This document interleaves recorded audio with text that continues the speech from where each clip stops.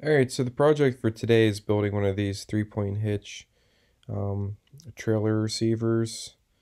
Um, so here's a good point, like this guy right here. Um, most of them are like this that I see where they come with the Reese receiver, but I don't like that because you have so much distance from where you're attached to the three-point hitch and where the ball is. Um, so I really like these styles where the ball just bolts right to the the uh, piece opposed to one like that. So I was looking at these and thought, well, maybe I should just make one rather than wait for one to come in the mail for a week if I order it. So that's what I did. So let me show you guys. I went down. I went down and um, took some measurements of my three point hitch width at where I wanted my desired um, desired width for because the three point hitch um, can swing out and in. But so I got my dimensions of where I wanted it. So there's a couple different parts to this. You have your main beam down here at the bottom. So this is where the ball will attach to the trailer. So that's going to be a three quarter inch piece of steel. Going to cut it at 26 and an eighth. And then I'll have these ears on the side here, which will be half inch plate. And the pins will go through here that connect to the three point hitch. And then I have to make this other piece at the top for the top link. Um, so that'll be down to 3 eighths. Then these connector bars will be 3 eighths as well. So this CAD isn't pretty. Um, I'm not really uh, the engineering drawing expert, but this should do for what I'm doing. This is just simply an aid for me whenever I'm designing something. I can sit here and figure out how I'll do it. And then I just take a picture on my phone and while working, I can look up my dimensions on my phone. All right, let's get started making this hitch. Um, the one I'm gonna designing it off of, I found online for a hundred bucks, but with the state of things right now, um, shipping and whatnot, probably won't get it for weeks. But regardless of that, um, that would kind of discount the joy of making the thing. So let's start getting the first piece three quarter inch plate up on the table so I can cut it. It's probably pretty heavy, so I'm just gonna use the crane. Um, let me look here.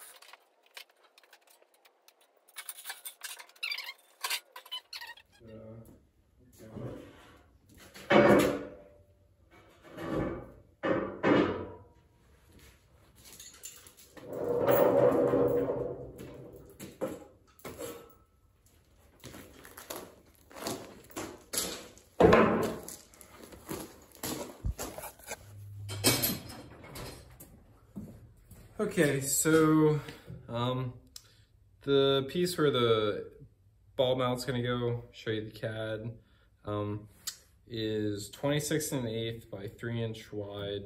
And then I'll drill a hole um, with mag drill for the, uh, what you call it, um, for the, uh, ball now.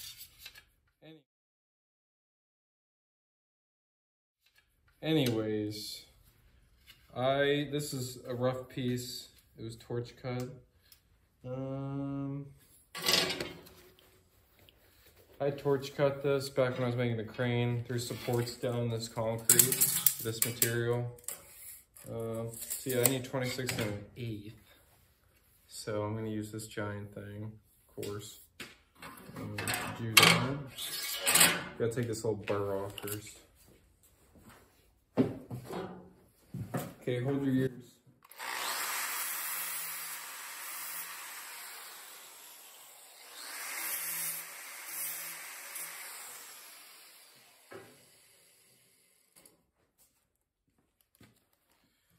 Okay, so I'm gonna use a circular saw for this. So I'm just gonna mark it out at, let's see here.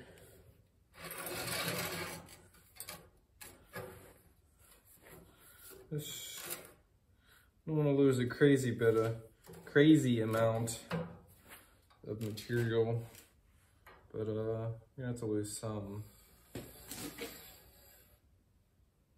So zero and 26 and an eighth would be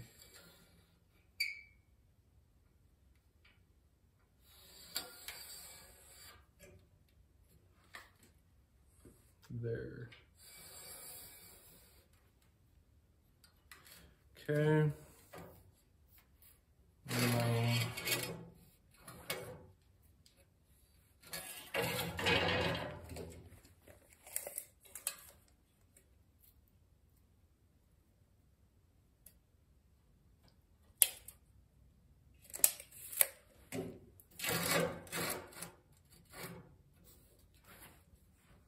Okay, that's square.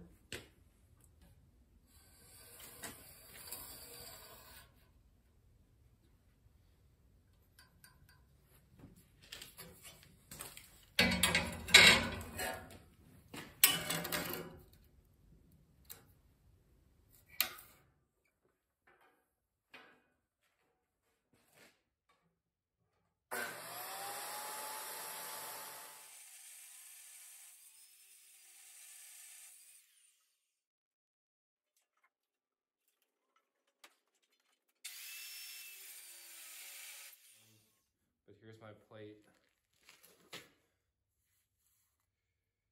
So cool.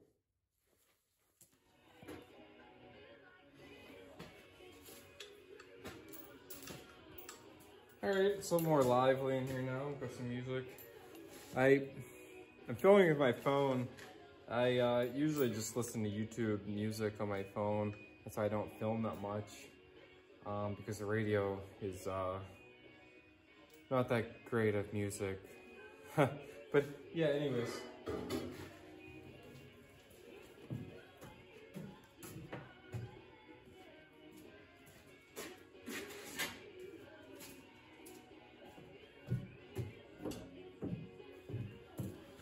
Mountain Stage should be on soon. And that's what I like to listen to. So wait for that and just drill some holes.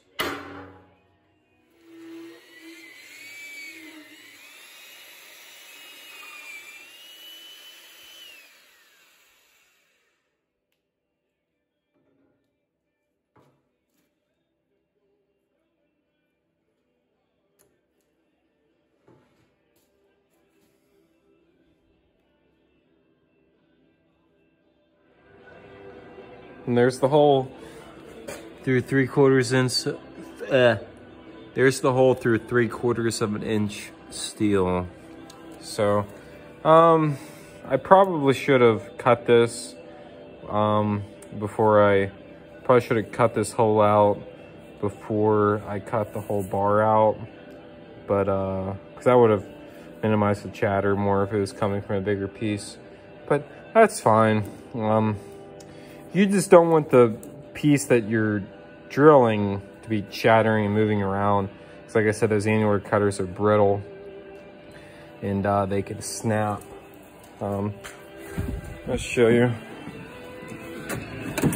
I have this one that you see snapped. This is a drill press attachment for a Morse taper number two. I like it, it works good, but I tried to feed it too fast and it broke. So, yeah. Here's another heavy one. Um,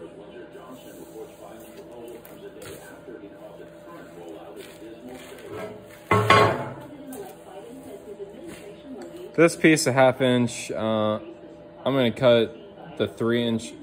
I need pieces that are three inch by four inch. I need two of them. So I'm gonna cut it uh, three inch way first, then I'll cut it on the Johnson over here, cut in half.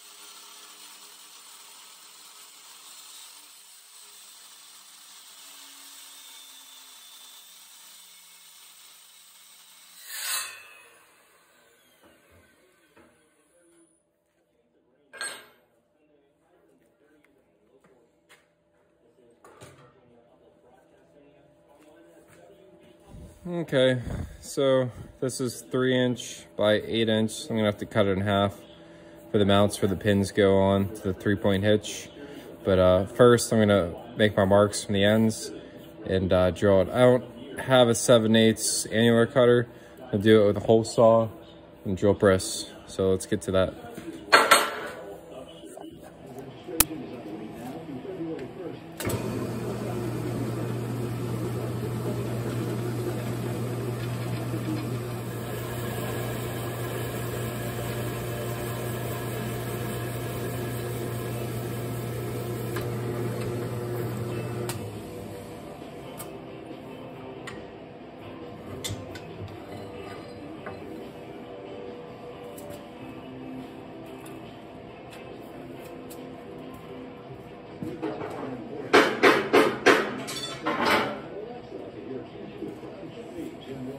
All right, here's those holes.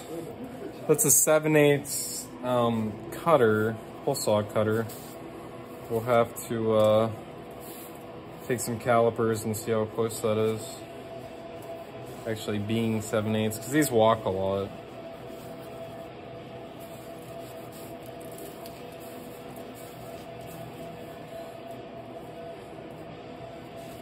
But for what I'm doing, it's fine. They're off a tenth of an inch or whatever. But if it's something like a pin for the crane, I really wanted it to be a really tight fit. I didn't want any looseness. I just have to cut this.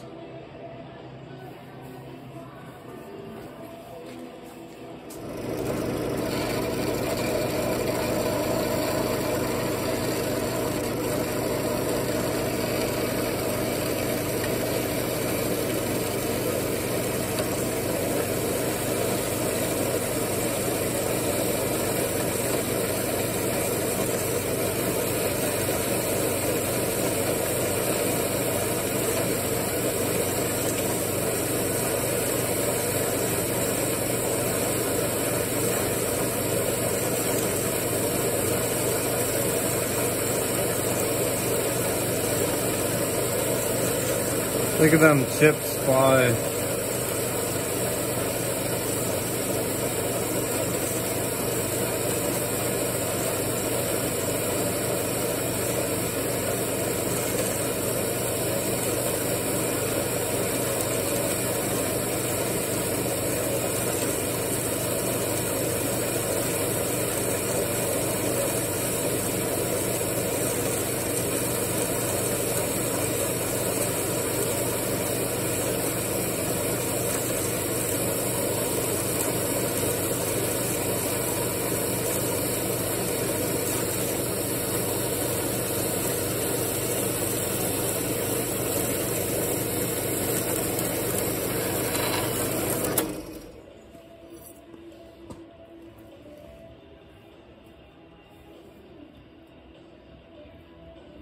Pretty nice cut for a 110 volt saw. But uh, yeah, took me a long time to find this guy, find this Johnson, but yeah, that's my uh, gimbal. But yeah, Johnson, awesome. So uh, these pieces are small, so I had to put something on the back of it to kind of hold the clamp, but yeah, that's a pretty nice cut. One of these plates where the holes line up um, was like 3 30 seconds of an inch higher, longer than the other. So I just butted them up with one of the pins like it'll have in it and uh, took just an angle grinder and just flattened them down. So now they're nice and uh, nice and even. All right, so getting back to this, ooh, getting back to this um, from last night, um, I got the drawbar piece made up.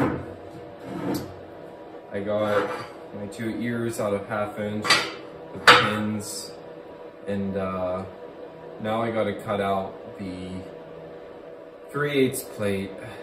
Well, that should be fun because we just had like three inches of snow last night. So I have to dig that out.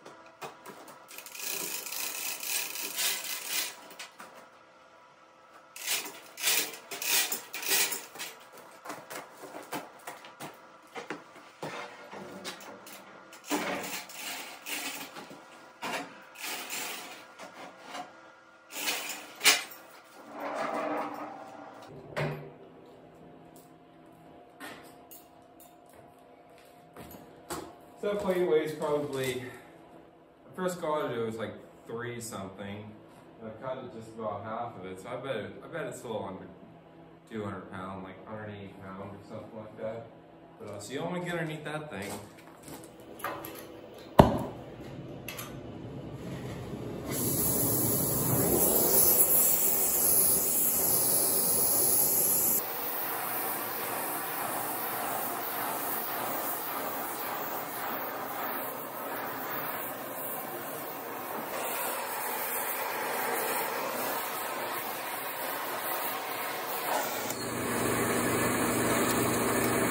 So I cut a total length um, out of my plate.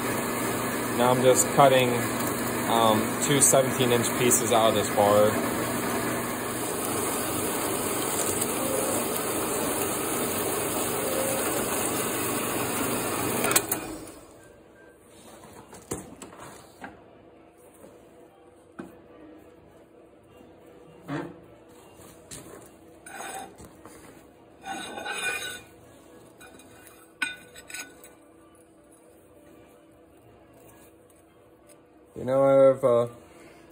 Two equal length pieces. Alright, I gotta get this plate back off the table. Um, I need to develop a system where I can store these big ones with the crane. Um, I just haven't of anything. That's a little bit big for what I need. What I really need to do is everything I build needs to be with the standardized uh, flat bar width. So if I'm usually cutting this stuff down to three inch width or six inch width, I just get some flat bar and then I just cut on the Johnson. Be way easier. But uh, so I was using strap before. I was using my straps before, but these straps can get cut up in these sharp corners. So I just wrap chain around here, and as you can see, um, chain can't slip. Chain usually can slide on steel. Can't in this case. The way it wraps around and grabs into these corners, this chain's not going anywhere.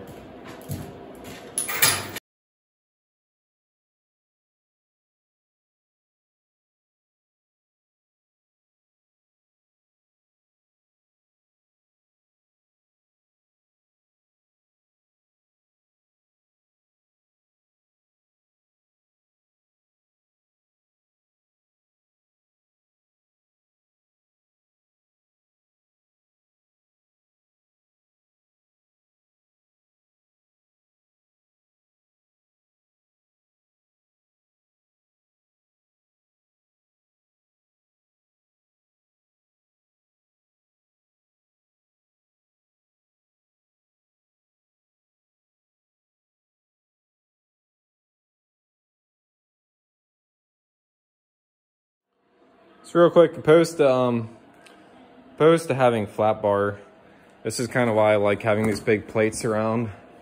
So like, when I made that gusset, and uh, it's kind of hard to see. I have to do a bigger video of the crane and how I built it, but I make like this piece, and there's more pieces up in here, and uh, these mounts, and there's a big mount up there. That's half inch. But then. Uh, uh, see, like there's on my table this piece of angle, or not angle, beam. I welded a plate up into there on the edge of it that bolts to, to the beam for my table. So having big pieces is really handy. They're just sometimes hard to work with when they're a certain size.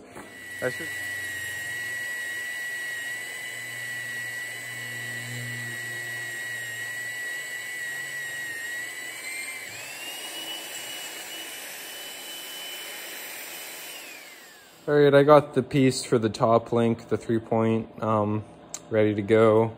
I got these lined up. I need to make some marks where I need to weld them on. Got my other plates, but uh, so anyways, this is the first thing I'm gonna weld. First I'm gonna go up um, to house and eat lunch. But uh, anyway, so I got the pin in so uh, that I know these are these holes are lined up before I weld it. Pin moves, it's in there nice. Um, you see these are spaced two inch, piece of two inch tubing. clamp together. So I'll just put a tack in here, tack in here, a couple tacks. Keep this brace so it doesn't swell up or expand out. Yeah, push in or push out whenever I weld it. But I'm gonna put a bead in here and then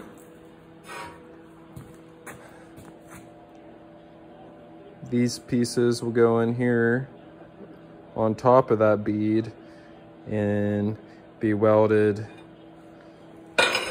be welded onto this plate and onto this plate. So it's gonna be really strong.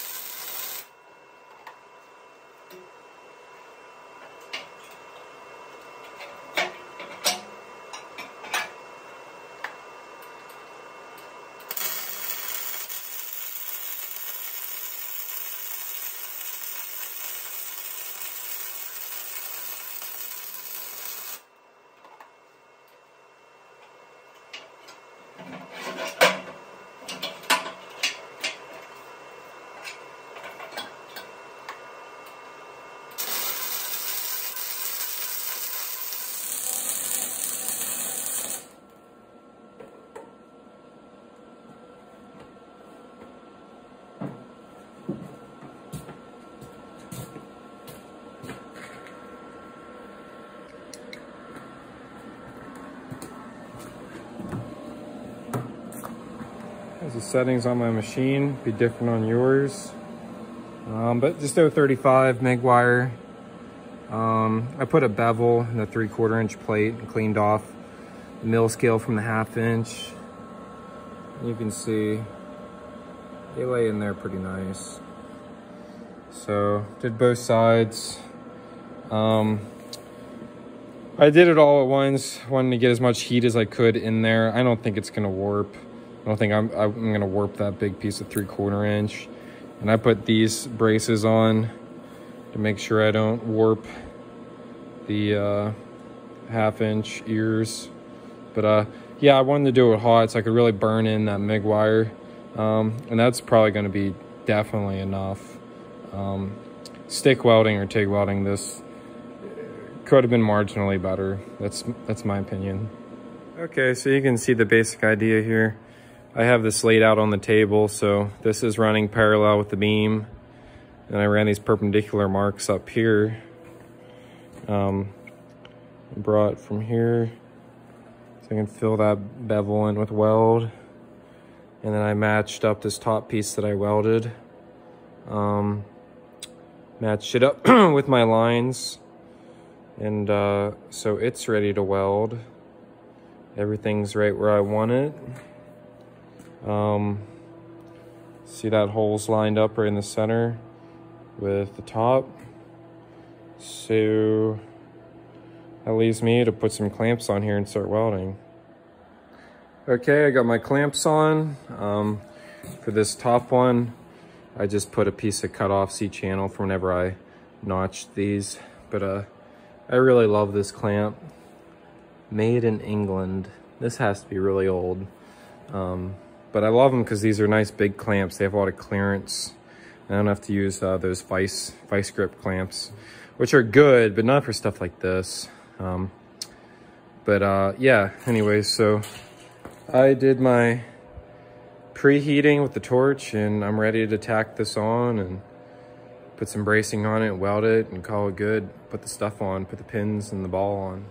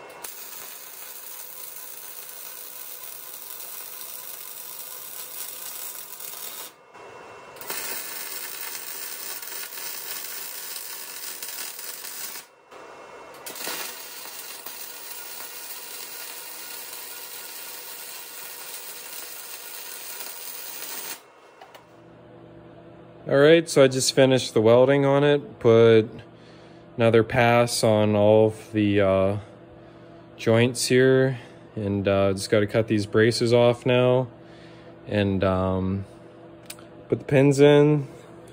Yeah, I'll just put the pins in now, and uh, I mean, I could weld this backside, and I probably should, and I, yeah, I'll probably have to do that. But I mean, this is just moving my trailer around the yard, so uh, it should be fine for now. I'm gonna put the pins in and see how it uh, how it fits. So that's where the top link will go, and then you have your other links, and then of course the trailer will go here. So that should work quite well.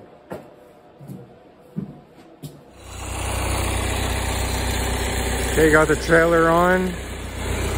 Um, haven't hooked up the wiring yet, but this is working good. Ended up polishing these out and put some fluid film on it. Uh, finished welds up here. Got these guys welded all in. Can adjust it. but it's pretty level. I like it where it's sitting. Nice and sturdy. So, yeah. Yep, it's looking good on there. Tractor doesn't even know it's back there. I'm happy with the way it rides. Haven't taken it on the highway yet, so I can only say for back roads. All right, we'll pull up this hill